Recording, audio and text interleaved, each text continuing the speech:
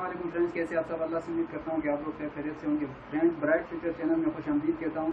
आज की इस वीडियो में मैं आप लोगों के साथ यूट्यूब के हवाले से कुछ अपडेट शेयर करना चाहूँगा, जो कि आप सब तमाम यूट्यूबर्स के लिए बहुत इंपॉर्टेंट होने वाली है।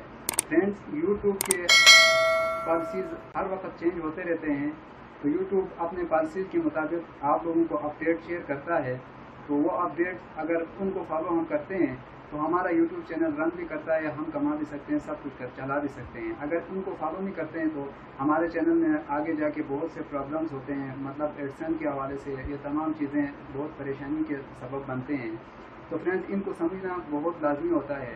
फ्रेंड्स मैं आज आप लोगों के साथ इन अपडेट्स को शेयर करूँगा, लेकिन अपडेट्स की तरफ़ से बढ़ने से पहले मैं आप लोगों से गुजारिश करना चाहूँगा कि ब्राइट फ्यूचर चैनल को सब्सक्राइब ज़रूर करें और साथ बेल आइकन दबाकर हाल पे क्लिक करें ताकि हर नई वीडियो अपलोड होने पर सबसे पहले आप तक पहुँचे।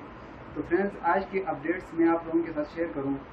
सबसे पहले वाली अपडेट्स ये है फ्रेंड्स कि पहले जो कि यूट्यूब ने ऑलरेडी बताया था कि तमाम ऐसी वीडियोस जो कि मिसाल के तौर पर लोगों को घबराहट महसूस हो या लोगों को डिस्टर्ब होने के सबब बने ऐसी वीडियोस को हम प्रमोट नहीं करेंगे अपलोड हो जाएँगे भी तो हम डिलीट करेंगे या ऐसे कोई बताया था। तो फ्रेंड्स आज यूट्यूब ने इस अपडेट में इस चीज़ को वाजे करके बताया है कोरोना वायरस के हवाले से कोई झूठी अपडेट्स आप लोगों लोगों को देकर वीडियो अपलोड करते हैं तो उसके खिलाफ यूट्यूब ने कहा है कि हम सख्त एक्शन लेंगे। मिसाल के तौर पर, या इलेक्शंस हो रहे हैं, या ऐसी ऐसी सियासी बातें होती है, आप लोगों को झूठ फैला के लोगों को तकलीफ़ होती है, लोगों को घबराहट होती है, लोग परेशान होते हैं तो ऐसी वीडियोस को यूट्यूब आगे लोगों तक नहीं दिखाएगा। तो आप लोगों से गुजारिश है कि आप लोग ऐसी चीज़ों से गुरेज करें। फ्रेंड्स दूसरा अपडेट यह है कि पहले तो हम लोगों को यूट्यूब ने ये बताया था कि ऐसे ऐसे वीडियोस को हम प्रमोट नहीं करेंगे जो कि खून खराबा या ऐसी वैसी चीज़ों के ऊपर बनी हुई होगी। तो फ्रेंड्स आज इस चीज़ को यूट्यूब ने डिटेल के साथ, तफसील के साथ बताया है।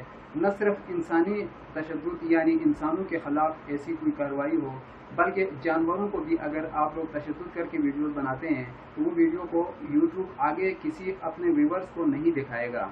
या जानवरों को मिसाल के तौर पर आप लोग ज़बा करके खून की वीडियोस दिखा रहे हैं, या उनके ऊपर तशद कर रहे हैं, या उनको तकलीफ़ दे के आप लोग वीडियो शूट कर रहे हैं, ऐसी वीडियोस को यूट्यूब अपने अलगोरिथम में नहीं रखेगा।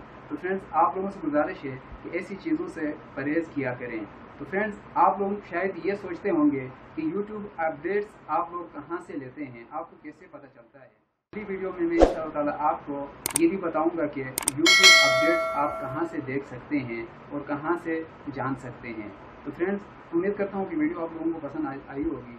आज तक इतना ही, मिलते हैं अगली वीडियो में। अल्लाह हाफिज़।